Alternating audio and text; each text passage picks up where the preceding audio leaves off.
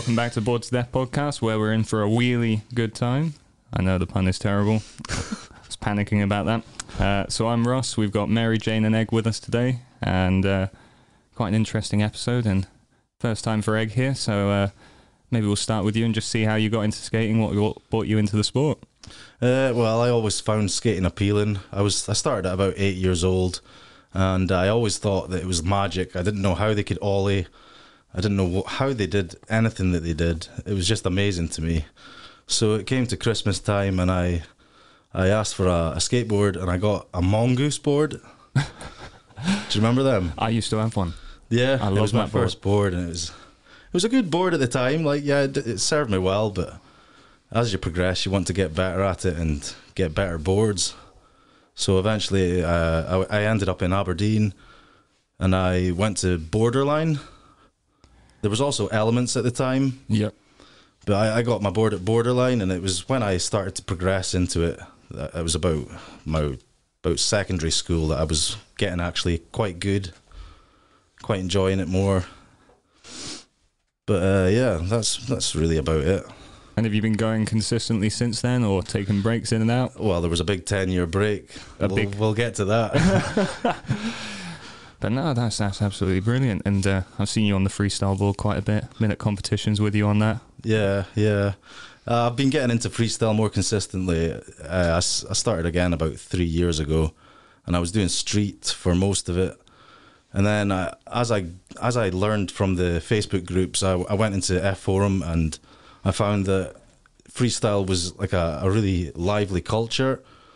So the community was really uh, really helpful and really supportive. So what I did was I ended up buying a, a freestyle setup, and I just indulged into it, and I've I've never really stopped since. Like I've I've always enjoyed freestyle in a way, but I've never had a proper freestyle board to do it on until until recently. I know it's good fun. It was good fun, especially coming up to Aberdeen and skating that car park at ten o'clock at night. Yeah. that was that was good. yeah, yeah, that's a good car park to skate. I love that place. But uh, no, that's fantastic. And Mary Jane, we've heard your story before. You got into it, but how's skating been for you recently? Um, it's been pretty good. I've been progressing a bit faster, I think, because I'm more conscious of like the way that my body needs to be on the board. Um, more so in the last couple of months than like the last couple of years, kind of thing. It's like clicking. It's starting to starting to make connections in my head about like the way that like your shoulders have to be in order to do certain tricks. Um, so yeah, it's been it's been pretty good, and I just got back from California, um, where I spent some time in the states um, and met some amazing people, skated some really cool parks, like some really really cool parks, um, and yeah, enjoyed that experience like thoroughly. So it's been great for me. Ah, it's been fun to watch all your, your trips and your, your clips and getting on YouTube channels and all sorts of fame. And those those pants, those uh, those colourful, multicolored pants. Oh, the beach pants. Yeah, they are amazing pants. Yeah, they're cool. Um, I'm using pants as in the the, The just- American the slang. American sense, just in case this is a Scottish podcast. They'll be like, "What is she doing?" Like, Skating in your underwear. Uh, not not quite, not quite. not great in the Scottish weather. ah, no, that's brilliant. Well, I don't know if I should give a recap of what I've been doing. Absolutely nothing. Yes. I've got a bad back. That's that's all it is. Every time I stand on a skateboard, it hurts. I went to transgression the other week, knocked myself out. Pretty standard. I seem to always be hitting my head or getting a concussion. So that's where I'm at. Like a full clean kale. It, it, I was out for a couple of seconds uh, again, but I got back up and skated the rest of the session. But then I don't know, my back's still not quite right. I don't know what's going on. So I'm going to buy a helmet because everyone keeps telling me to. Yes. Yeah. Yeah. They are important. I feel that was the last chance for me. Hit my head after not skating for about a month, and now I need to, to get back on it. There's um, a lot of the Glasgow community I see now, like the younger ones that are suddenly like wearing helmets, and I'm like, It's oh, cool this to is wear great. helmets now. Like I'm rubbing my hands over here, like let's go, like it. It definitely is cool to wear a helmet. I just I lost mine and never bought another one, but I've got no excuse now. yeah. I'm gonna get back onto that. I'm guilty for that. I, I don't wear a helmet a lot of the time. Maybe at a skate park or something like that, or in an indoor. But I knocked myself out this year as well because I, I fell off the back of my board doing a, a rail stand, and I'm pretty sure I was out for about two minutes. Oh no. Yeah, Which is just on your own. I was on my own. I was just in my car in a car park on my own, and uh, I was on film and everything. But it- the funny thing is, the camera recorded it, but it skipped when I was unconscious, as if the camera just stopped recording. Kind of like it, you know. Sometimes it moves on to the next, Yeah. the next portion of film. So I don't know how long I was actually out for. The camera got a concussion as well. Yeah, the camera got a concussion from watching me. Like it was, it was bizarre. Like Oh no. Well, don't be doing that. We'll we'll No, go out to wear the a shop helmet. after this. Yeah. wear a helmet.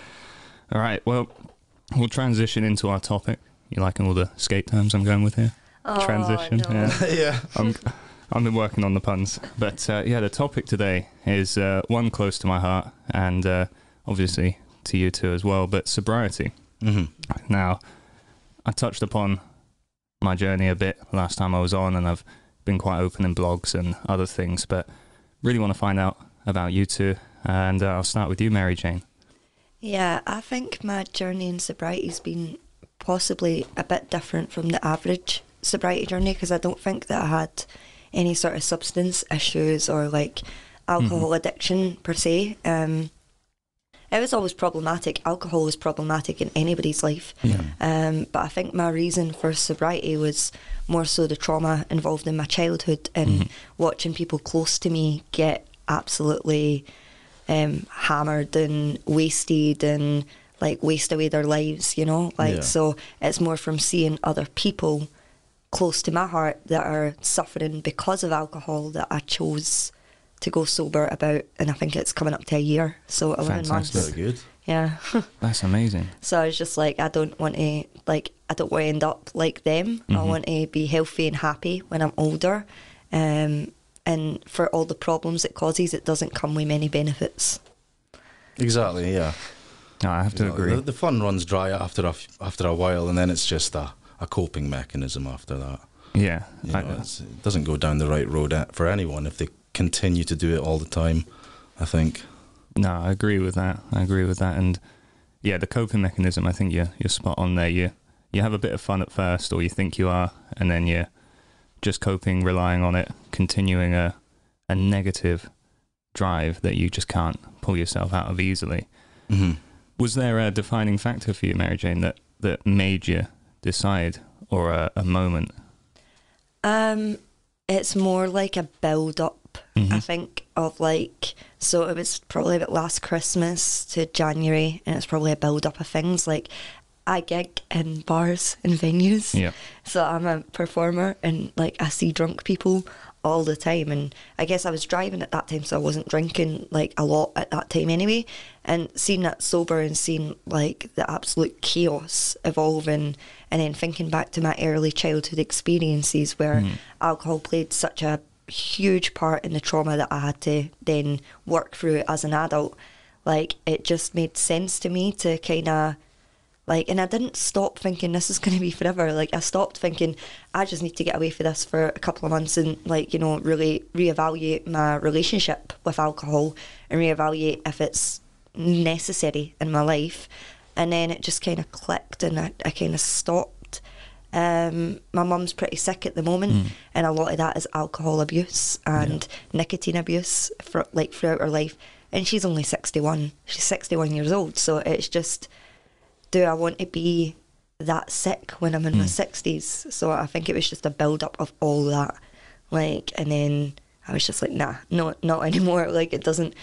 Like I never had, you know, the bestest of fun on it. Anyways, like you said, it doesn't become after it stop. It stops being fun at some point. It mm-hmm. does. Like you mm-hmm. just end up being like sick the next day and hungover and like three days worth of like pain and anxiety.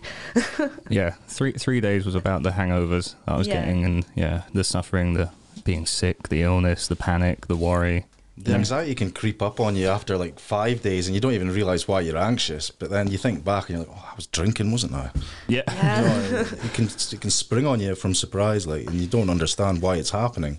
That's why a lot of people don't understand their anxiety to begin with. I think Because it creeps up on you and you can't find the root cause when it's it can that. be delayed. It can Mm-hmm. happen days after, and you don't realize why. But Because you're worrying about what text you sent to that person and, and Yeah, what you said to that person when you're out, or what you said to that person at the skate park, or like you know, it's it just it does end up like yeah, and then people show you videos and you go, oh, no, that's that's me. cringe. Yeah, You're sort of looking at it going, who's that? And you go, no, no, that's me. That's me.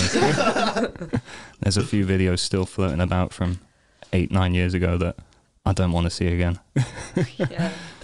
Well, what about you, Egg? What uh, what's your story and uh, journey in this? I started smoking weed when I was about thirteen, so you know I Hmm. didn't have a good good time in school. Well, secondary school. I had a good childhood.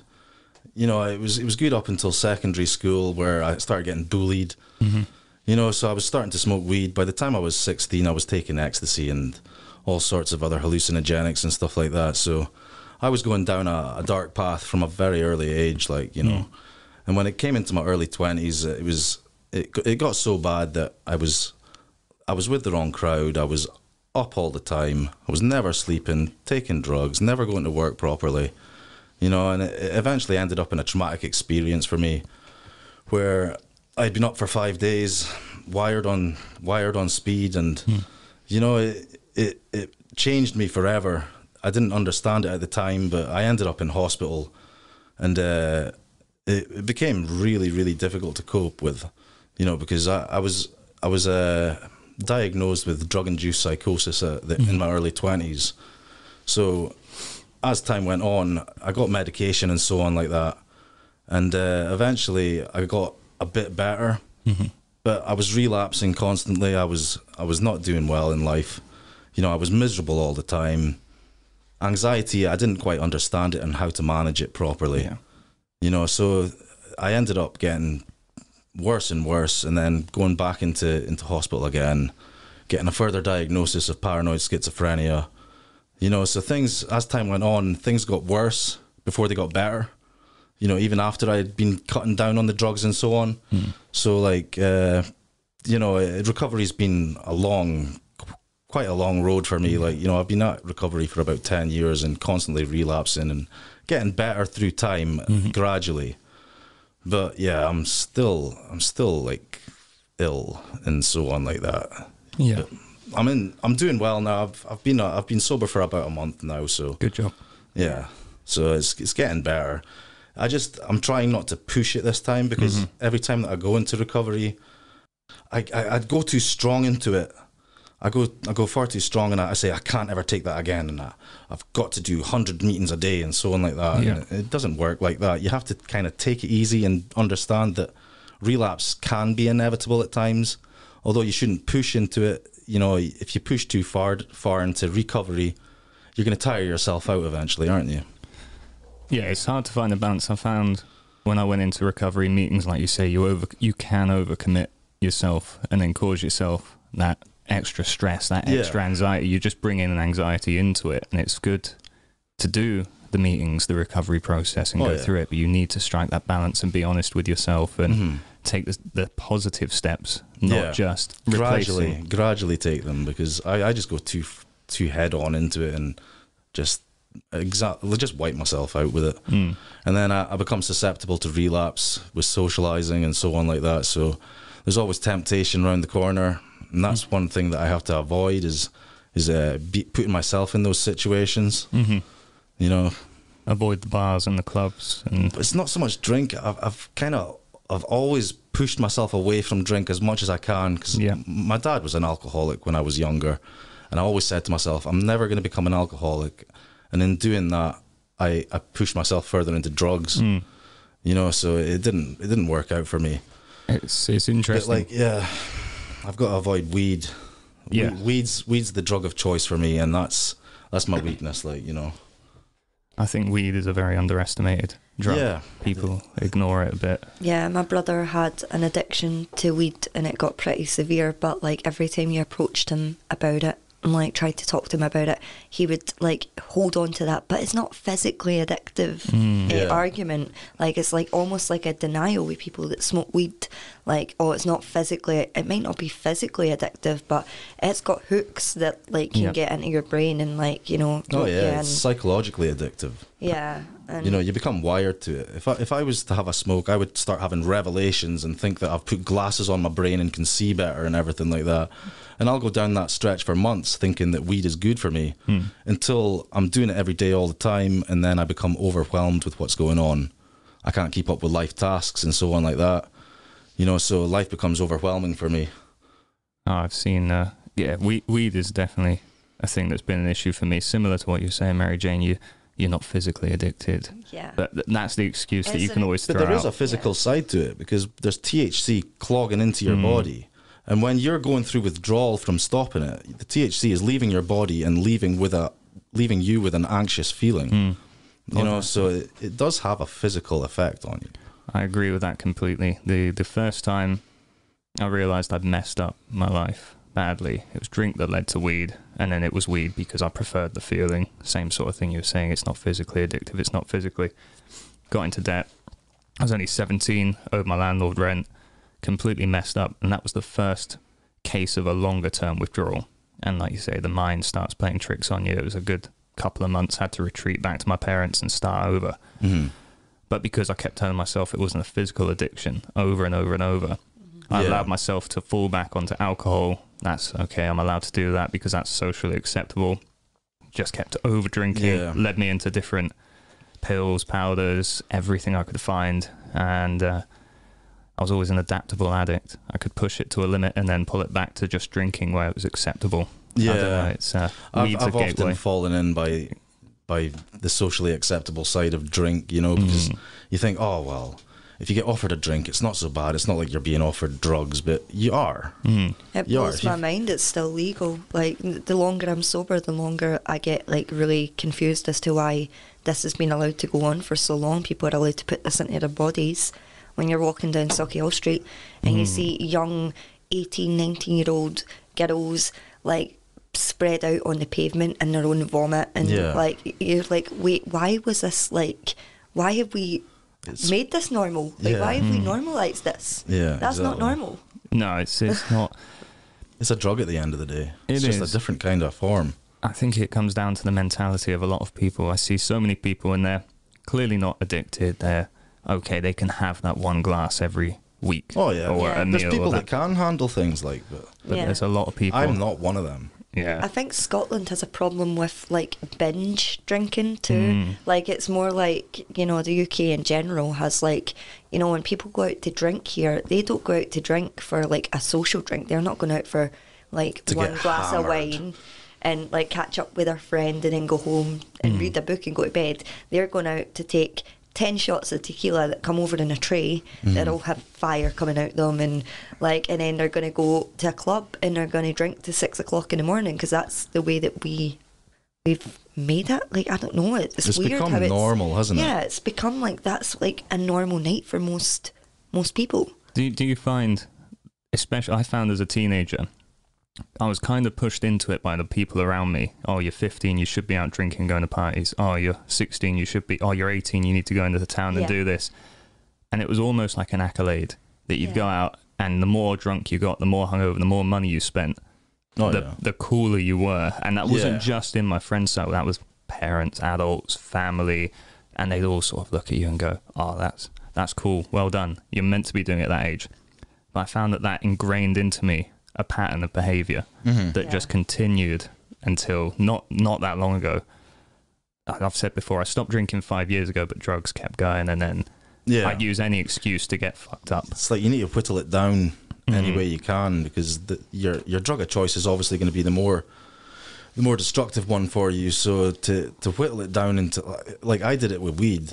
You know, I was into stimulants and all sorts of stuff, and then I said to myself, right, I'm just going to smoke weed now, and I pushed myself to smoke weed every day Mm. and avoid other drugs. But at the same time, when you're doing that, you're keeping in contact with drug dealers.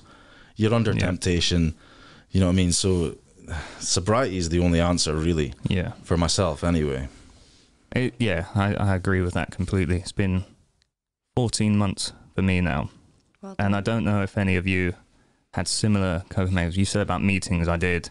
It's the first time in my life I ever went to meetings, started going to support groups. Um, utilized a support group called DAPPLE in Fife, who are drug and psychiatrist people that give you Mhm. a meeting once a week to have a chat and catch up and check in and just created a structure around me of positivity and people that wanted to Yeah. just wanted the best for me.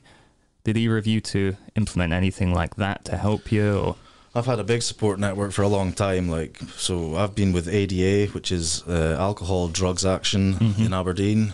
I'm not sure if they've spread wider now, but yeah, I've I've had support from SAMH in the past, and uh, I've been to NA meetings.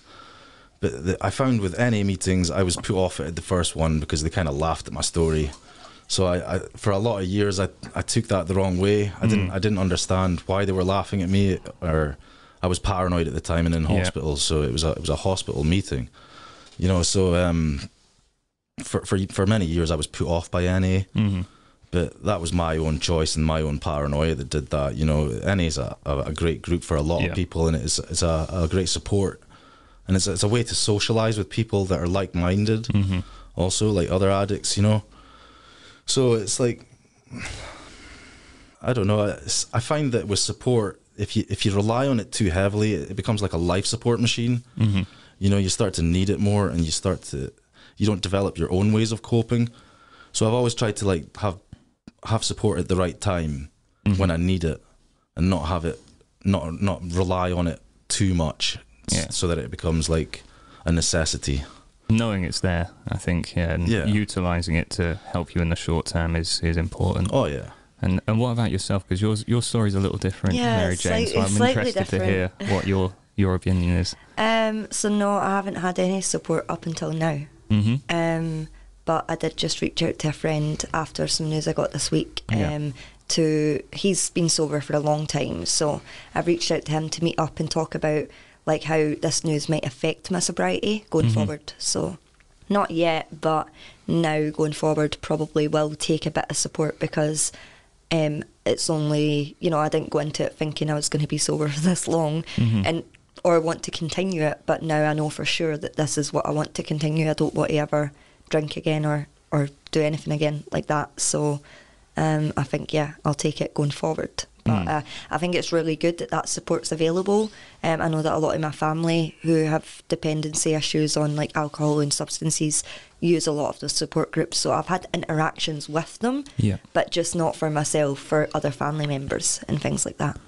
I think it's quite interesting that you're aware of it, and at a time when you need it, you're starting to reach out and utilize it. You've got the awareness of it and proactive proactive. Um, I had a lot of therapy. but that's good. I had I a lot of therapy when I was um, like I, in my early to mid twenties, um, and now I know when I need to reach out to people, and I need to. I know when I need to take time for myself as well, because I'm quite a I'm quite a giving person. I'm quite a yeah. like I like to make time for a lot of people, but sometimes my weakness is probably not making enough time for me. hmm Mhm. But I'm getting better at that, and that's why I reached out to my friend to to ask him if he wanted to go for coffee, and I explained the situation, and he's happy to meet with me and you know talk through it. So That's really good. yeah, Reaching out is uh, it's one of the hardest things, and like you say, you you can easily.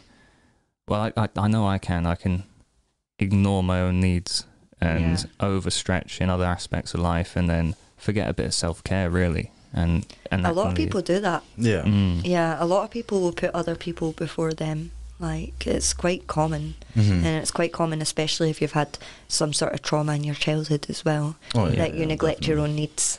Oh, I agree with that completely. And uh, yeah, go, continue with the sort of support. It's we're all skateboarders, obviously. That's Yeah. why we're here. When I was going through chaos in my life, when I was going through sobriety in my life, and always on and off, and you're going through periods, I was interested more, I'd say, in chaotic skateboarders. So the Andy Roys, the Brandon Novak, the Bam Margera story saga we've all watched. I was very interested in Andy Roy throughout my life. I always thought, oh, he's way worse than I'll ever be. So that was again in the back of my mind. Someone who's in the limelight, kind of admired how he was as well. So there was always that part of me that sort of wanted to be like him, but also oh, I'm not that bad, so I'm okay, I can survive. And then I watched him turn his life around, and he was a big saving grace in my life at a low point. I find it quite interesting watching these people, and I take a lot of inspiration, watch a lot of what they do. Is there anyone in the skateboarding world that's helped you just by watching them, or that you've been intrigued by their story or journey? Well, I'm, I'm not really fanatical about anything. Even honestly, I I don't know half the celebrities other people know, and hmm. I, I don't read up on things too much. I'm kind of stuck in my own world a lot a lot of the time. So recovery for me was was my own choice. Like it was my own journey. It, it, it wasn't inspired by anything because like I used to listen to a lot of Eminem, hmm. and then when he made recovery, I kind of went off him. I was I was that messed up at the time that it was like it wasn't appealing to me. Sorry, Eminem, you're starting to recover now. you know what I mean? It didn't it didn't appeal to me at the time, but see see now, Recovery is like one of the best albums I've ever mm. I've ever listened to. So it's like you know you develop that taste for sobriety and and you ha- you get that mindset going. It's like a rhythm. You know you need to start looking after yourself, telling yourself nice things, and looking towards a, a more adaptable future that's that's sober and, and more stable. But like, yeah, it was sobriety for me was just kind of pushed on me because I needed to do it. You know, it was never it was never that I looked up to anyone and thought, oh, I want to be like them or or anything like that. It was just kind of I've I've been stuck in my own world for ten years. You know what I mean? It's uh, it's just bizarre.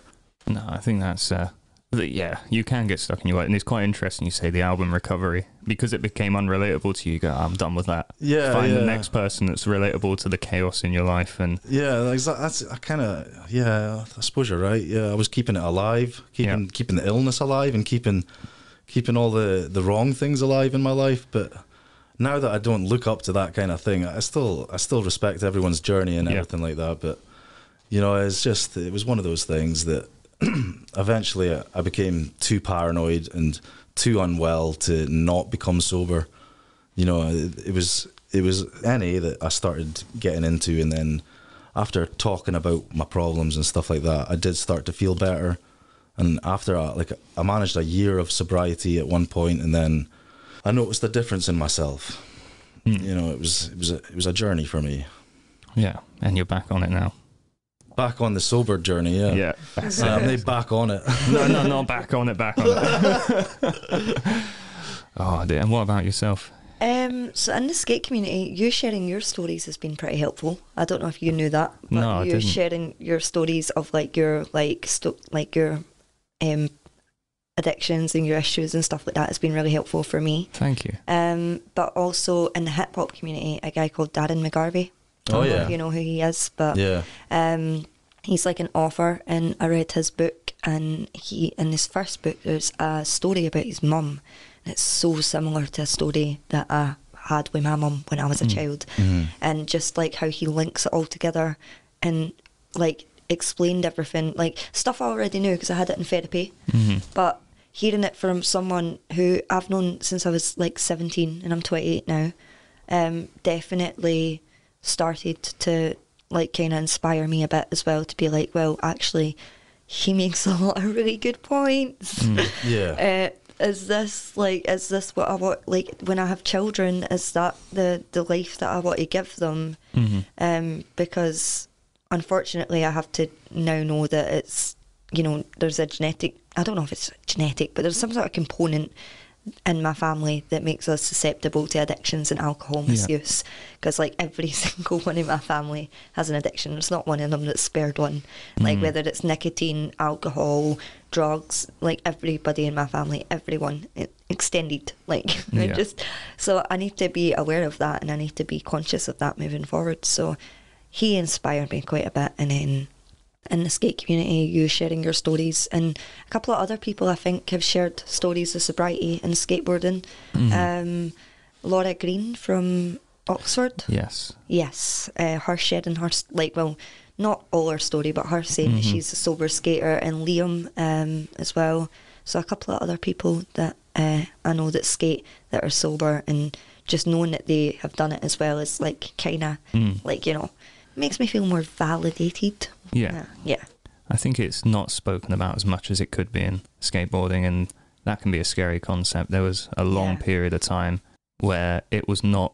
It was the cool thing to go out with a crate of beer, skate, and then or just buy whatever you could and skate. It, it, pills and skating were very big in my mid twenties. Like we you couldn't even go out on a board without Wow. taking something, and Mm. I tried I'd- never to mix it. I Oh, I- well, I with- loved with mixing weed, I it, would and that was feel the worst thing. But yeah, if I, I I started getting more wasted into my twenties, and then skateboarding just started fading away as I Mhm. got into it. And that was your 10 year break. That was my ten year There break. is, yeah, yeah, exactly. So we've got there now, but uh, yeah, uh, ten years of just absolute mess in my head and mess in my life. But eventually, I got over it.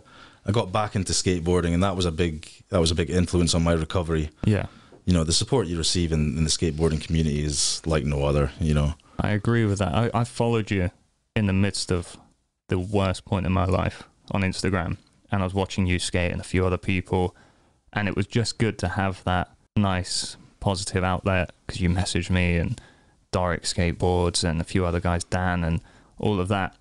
And even though everything was a bit chaotic for me at that time, especially during the lockdown period with everything that was going on, yeah, no matter what was happening at the time, skateboarding was still that little bit of good yeah, if I could get on it, I could forget what, not forget what was going on in your life, but you could enjoy an aspect of life that was still quite, for me, pure, simple, Mhm. enjoyable until you break a bone or two, and then you think, oh, everything's rubbish. But aside from that, it was uh, it was always enjoyable. Well, and what you were saying about mixing skateboarding and alcohol, I did that and broke my ankle. So Yeah.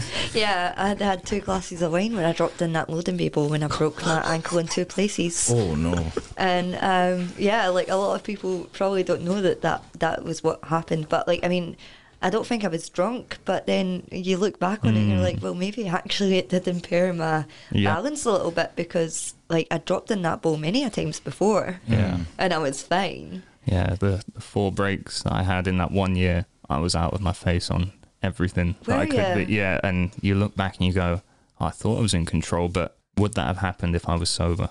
And I have to say, probably not. I would have been more cautious. I would have considered what I was doing. I would have maybe built up to certain tricks, and it definitely, it definitely takes away inhibitions, and then you make mistakes, and it can be deadly. That's it's, really interesting. Yeah. it, it's terrifying to look back on. Because you see a lot of the shredders in the community, and I see them at events, and they're they're they're down in beers like at the side of like the the bowl, and they're dropping in that eight foot, ten foot section, Yeah. and I'm just like, wait a minute, like, yeah, it's it's wild that they can still do that, like, Mhm. and you know, it's scary. it, it can be, yeah. And yeah, I'm glad that I'm not doing that anymore. This is why I've retired into freestyle because I would just end up making a mess of myself if I didn't. you know what I mean? Down sets. Oh no. No, no, stair sets are not fun, even. No, even not after anymore. you're 30. No, yeah, 30 plus, Yeah, that's it when you hurts a lot more than you bounce. Sober or drunk. yeah. No, no, it's you, I just don't do it sober. Your, like I say, your story is a little different. It's more, it's interesting to me because it's coming from a different aspect. What advice or good bit of support would you give to people that are considering making a change in their life or making a positive change in their life, whether it be with alcohol, drugs, or a sport or an activity or anything? That's interesting. Um, hold on, I need to think about it. Oh, that's all right. Well, we can go to egg first. Yeah, let's go What- egg first, and Okay, then yeah. um, well, I, I'd say like recovery and sobriety, you can't force or make anyone want it. They have to want it for themselves. Agreed. You know, because there's a denial that's played in it, and uh, you can't you can't break a person's denial. You just have to let them run their course and find their own way Mhm. of dealing with things. Like you know, you can't you can't force people into sobriety and make them think that this is Mm. this is for them or that. It's it's it's about their own journey and their own experience. I'd say, you know, they have to find it for themselves. I had to anyway. Yeah, I have to say that's uh, I agree with that completely. I'd say the the one thing I would say is don't be afraid to reach out. Yeah, It's- exactly. it's no- It's no weakness. It doesn't make you frail or No way. small or, or weak, which is what I always used to fear. If you're going down the wrong path with the wrong people, they're obviously the wrong people. Mm. You just need to know when not to stay too long and not to Yeah. not to go down that road that they're going because you know it's easily done. I've done it before. So, you know, It's so sad because they're not they're, they're not necessarily the wrong people either. They're also battling demons and Mm. yeah, dealing exactly. with things It's an illness as well, the end of the day. which is really sad. It's just you've got to do what's right for you, and you've got to part ways with that person until Mm-hmm. you can be more clearer in your head. Yeah. Yeah. I agree with that. There's no one person at the same stage in recovery. We're all unique in our different Mm. ways. Yeah. You know, we're all at different stages. We're all we've all got different clean times and non-clean times, Mm. whatever you want to call it. But you know, it's it's it's a completely unique experience for you. You have to find your own way through sobriety because you're dealing with different substance, substances. Not everyone's got the same addiction, and not everyone's got the same pattern of addiction and and coping mechanisms. You've got to think of the addictions that are not like substance and alcohol as well. You've got gambling and Oh, you've yeah. got Everything. like food. Food is Mm. something Yeah. that, that, that people get addicted to and like Mhm. all these other things like you know, so there's there's other addictions out there as well Yeah. that like anything that basically just makes your brain go wee. Yeah. well, what would you say to those people? What can they do, Mary Jane? Going back to you.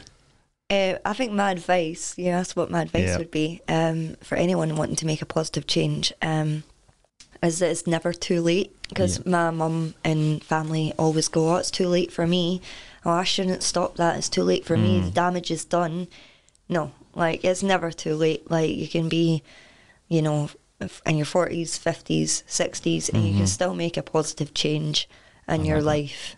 Or you can do it even earlier. You can do it when you're a 16 year old, 17 year old. You know, Mm. if you want to make a change in your life, make it and don't think to yourself, oh, it's too late because I'm already, you know, Mm. like knee high in debt or I'm already, you know, drinking every single day. Like Yeah. it's never too late. There's no, you can't, you can always bring it back. You can always That's bring it. it back and then like make that. that. change for yourself. I think that's the perfect way to start wrapping this up.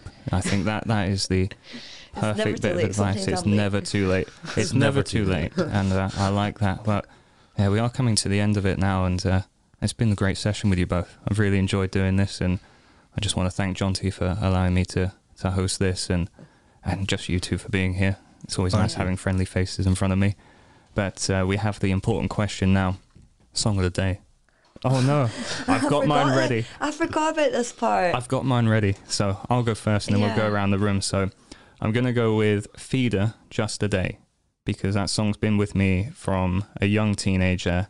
Good and bad, I always seem to resort back to that song, and there's a good message. It's about uh, well, there is a good message in there if you listen for. it, I think, uh, well, there is for me, but yeah, that's my favorite at the moment.